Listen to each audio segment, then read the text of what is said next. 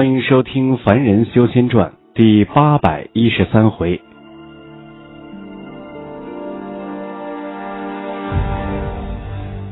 以刚才石块显示的巨力，这一下若是真的击中了此妖，恐怕就算不能将蛇妖头颅击得粉碎，也足以让其当场昏迷了过去。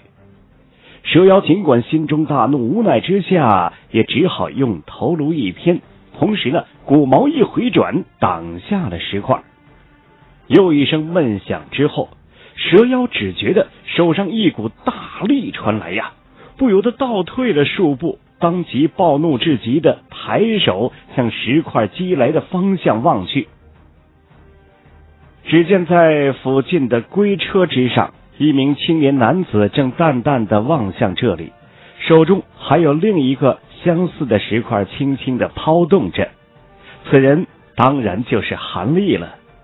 而红衫少女却早已一晃之后，到了另一名女子的光霞中，这才大大的松了一口气。蛇妖一连被破坏了两次，心中的暴虐之气自然到了极点，猛然一张口，喷出了盈盈的毒气。向三女护身光霞席卷而去，但就在这个时候，从另一只龟车中却传来了南棋子冷哼的声音：“孽畜，你敢！”随着此声传出，车厢中一道白光射出啊，一个盘旋过后，直奔蛇妖斩来，竟是一口数寸大小的晶莹小剑。正喷吐黑气的蛇妖见此，面色大变。猛然将手中的一只骨矛冲着不远处的龟车使劲的一抛，自己呢却躯体一扭，就此没入到了沙地之下。他一见有修士出现，竟然连交手都不敢，直接施展土遁术逃离了这里。而那只射出的骨矛却是极准的向韩立而去。显然，此妖啊，想在临走前杀了这名坏了自己好事的凡人，好出一口心中的恶气。韩立看到化为了一道乌光而来的骨毛，脸上却露出了一丝苦笑。不但呢没有用手中石块去击落此毛，反而是站在原地一动不动。结果轰的一声，骨毛结结实实的扎在了韩立的身上。整个人毫无反抗之力的被击飞了出去十余丈之远呀，落在了一只巨龟身上的某只货柜上，砸出了一个大洞，哗啦啦一阵乱响啊！一堆寒光闪闪的冰刃从货柜中洒落而下。啊！见到韩立落此下场，惊呼之声从那三名少女口中传出，车厢中呢也传出了南棋子略显诧异的一声轻疑。然后那口小剑在附近空中一个回绕，就向车厢中击射而回。这个时候，红山少女等人这才连晃手中小旗，将那光霞驱散掉，就朝破烂的货柜跑了过去。韩大哥，韩大哥，你你没事吧？被韩立相救的红山少女对韩立感激至极呀，站在巨龟之下，大为焦虑的呼喊了起来。江儿和白山少女同样面现一丝担心，还好死不了，只是身子以后没有办法动弹了。从货柜中传出了韩立苦笑的声音。三个少女闻听此言，心中一松，互望一眼之后，三个人身形一动，纷纷的跳上了巨龟，往破损的货柜中望去。只见韩立衣衫褴褛的躺在一堆刀剑之中，一脸无奈的表情，但是呢，没有受到多大伤害的样子。三女大喜之下，合力将韩立从货柜中暂时拉出来，然后平放在巨龟之上。韩大哥，多谢你救命之恩。红山少女感激的冲韩立谢道：“嗨，没什么，举手之劳而已。”这点攻击还奈何不了我的，只是多躺一段时间呐。韩立微微一笑，不在意的说道。另一只巨龟上的车厢门一开，南棋子从里面走了出来，身形几个飘动之间就飞到了韩立旁边，并一把抓住韩立一只手腕，一股精纯的灵气注入其中，啊，没有关系。金刚诀不愧为五大炼体秘术之一啊，修炼到了第三层就已经有这番威力了。那妖孽法器根本没有伤到韩施主，只是刚才出手投掷石块，又破损了一些经脉，有些伤上加伤了。多静养一段时间，也就无碍了。道士脸上惊讶之色一闪，随即现出笑意的说道：“啊，真的如此？”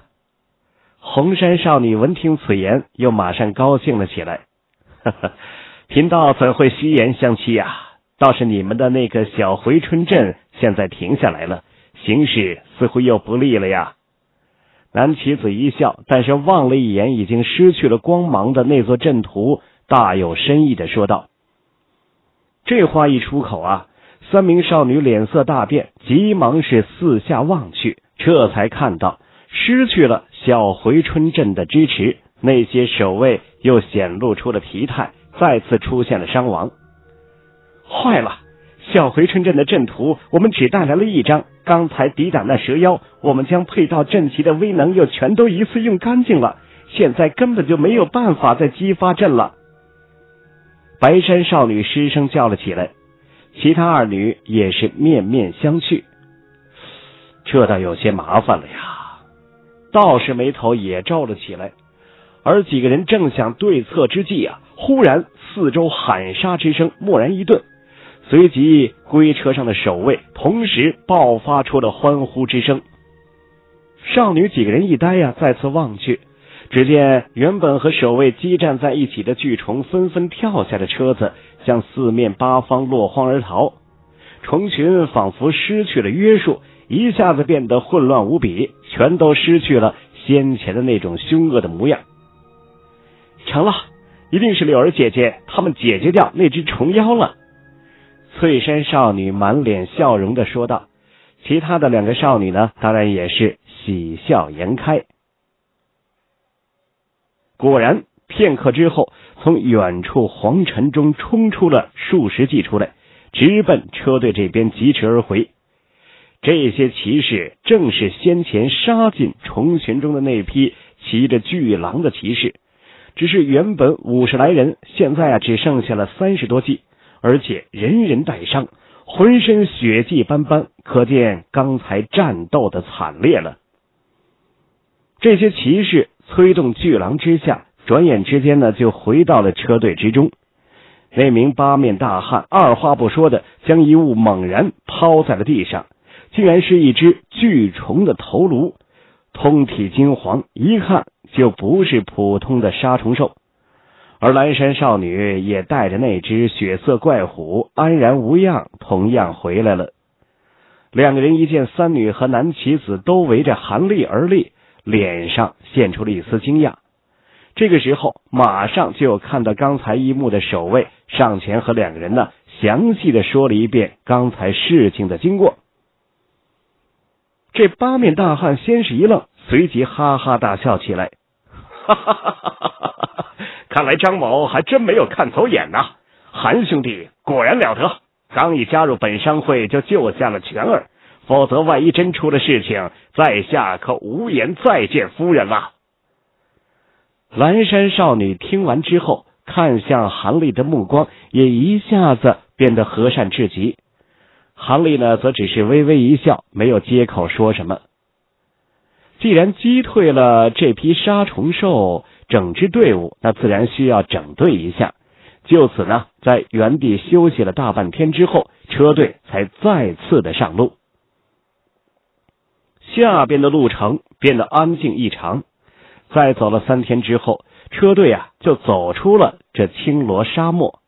众人的面前出现了一望无际的大草原呐，平坦异常。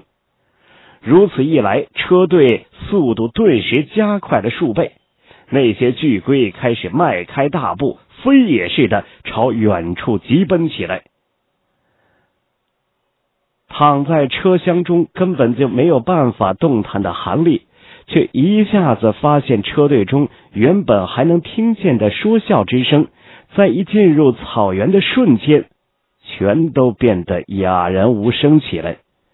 不但如此啊，坐在车厢中的四女望向车窗外的碧绿青草的时候，也是一个个显得神情不安，隐隐的现出了畏惧之色。韩立背靠车厢一面，坐在四个少女的对面，自然将几名女孩子脸上的表情看到了眼里。他在车厢外边的草地上早不知扫视了多少遍，但一切如常啊，没有什么异常之处，就是看起来和普通的草原一样啊。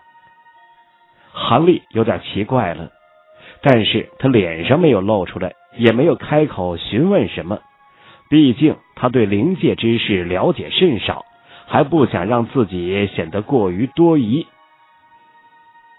不过这几天呢。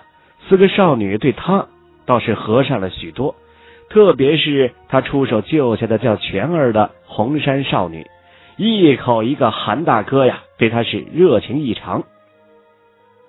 韩立呢，开始有些不太适应，好在此女如此年幼，倒也不便对其过于冷淡，所以这段时间呢，和这位全儿说话倒是不少啊。他没有明目张胆的打听灵界之事。反对天东商号，询问出了不少的事情。通过交谈，他才知道，他们口中的夫人其实是天东商号负责实体城市一方主事之人，还是天东商号主人的一位儿媳妇儿。一般人呢，都要尊称其一声方夫人。天东商号之主呢，共生有三子。这位儿媳是其二子明媒正娶的夫人，夫妻二人一向是恩爱异常，但是男方呢，却早在二十余年前就因为一场意外身故了，只留下了一男一女两名年幼的子嗣，故而原本应该夫妻二人主持的一方事务，现在呀，全由这位方夫人主持，而他们四个人呢，则是。这位夫人从小收养的四名贴身侍女，甚得这位夫人喜爱，颇有一些半女半仆的关系。这一次，方夫人会亲自跑到安远城这等偏僻之地来，小半固然是因为安远城出了高价购买了货物的缘故。那么另一半呢，却是那位从小的时候就检查出灵根，拜在了某个修仙宗门下的幼子，也在安远城内，并带来了口信儿似乎还有什么事情需要方夫人帮忙。这方夫人心系爱子之下，不但亲自出马，并且出发没多久就抛开了车队，亲自带人先赶去了安远城。在这位方夫人想来呀。车队不但拥有这么多的人手，还有数名修仙者坐镇，一般情形之下绝对没事却没有想到，在青罗沙漠中竟然杀出了一只低阶虫妖和一只蛇妖出来，差点呢，还真的出了问题。韩立听到这里，忍不住旁敲侧击了一下天东商号主人的来历，毕竟拥有这么大一份基业。普通人似乎没有办法做到，结果听到的消息让韩立又是一愣。这位商号的主人竟然真的是一名凡人，并且呢，还是一位手无缚鸡之力之人。那既没有灵根啊，也没有修炼过任何炼体术，如此凡人如何能执掌这么大的生意啊？韩立心中疑惑。含含糊糊的问了一下，但是红山少女呢，却也稀里糊涂的，同样不太了解。韩立见此就没有再追问下去，当时话题一转，将此搁在了心中。如此一来呀，韩立这些日子虽然了解了一些事情，但是心中呢又生出了许多的疑惑，让其也颇感有些郁闷。网有时候聆听也是一种力量。你的畅听别样精彩，三 w 点听八五点 com。这片草原似乎比那青罗沙漠还要广大的多，车队足足飞驰了上个月的时间呢，竟然还没有走出去的样子。在这期间，车队中的守卫和那些骑士不但一个个战战兢兢、小心异常的样子，就是原本待在车中一直不出的数名修仙者，每隔一段时间也会飞出龟车，轮流在空中盘旋警戒着。这些所谓佝偻山的修士也是面色凝重，同样不敢大意的模样。虽然所有的人都这般如临大敌，但是车队在草原行进了半月之后，终于离开了这片区域。前方出现了普通的丘陵地带。车队人员绷紧的神经啊，瞬间放松了下来。不但那些修士重新回到了车中。那些守卫也马上恢复了原先的说笑，就是那行立车厢中的几名少女，在离开草原的一瞬间，也同样的长出了一口气。那名翠山少女呢，甚至轻轻拍了拍苏胸，脸带娇笑的说道：“哎呦，总算没有惊动此地草原上的狼兽。虽然不是第一次过草原，可我总是担心的要命。”岂止是香儿姐姐害怕呀？整个车队中哪一个不是战战兢兢的呀？生怕运气太差，万一碰到那些狼兽的话，哎呀，苏醒了过来，我们这点人可就倒了大霉呀！在草原上根本就是死路一条。这种事情虽然不多见，但每年总有一些商号会遇到此事的，可不是吗？听说这次安远城不惜花费巨资向我们天东商号。订购了如此多的兵器和百套珍稀的灵具，那就是为了应付受潮的。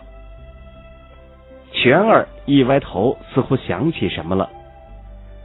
那就奇怪了，安远城虽然说不大，但也并非新建的城市，怎么会突然一下子向我们订购这么多的装备？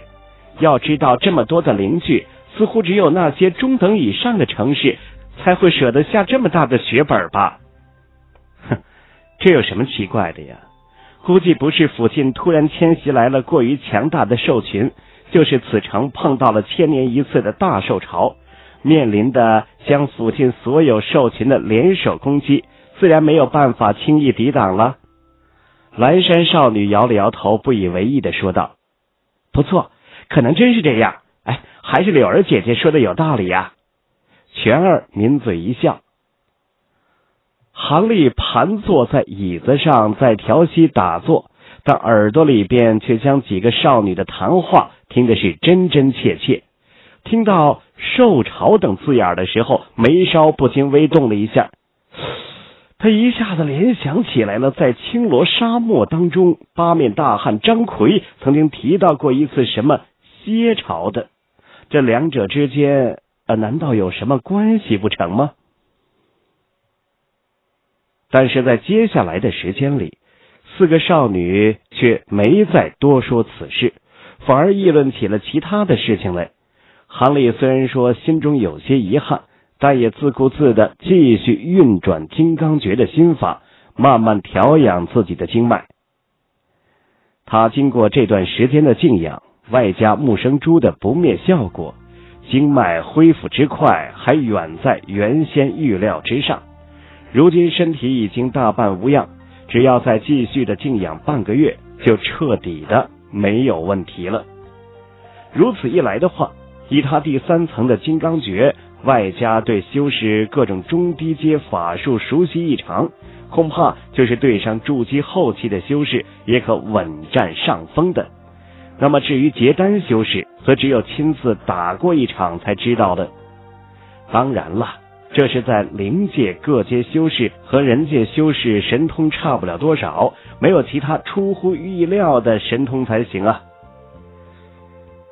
一出了草原，车队仅仅行驶了两天的光景，就到了此行的目的地——一座看起来气势不凡的石城。透过车窗户远远看去，石城城墙啊，足有三十来丈之高。再加上每隔百余丈就有一处十丈高的小城楼，让石城看起来呢是雄伟至极。